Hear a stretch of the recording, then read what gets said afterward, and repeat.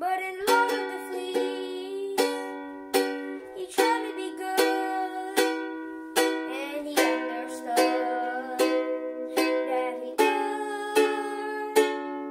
But it is hard to change his heart, but he kept trying, trying, trying.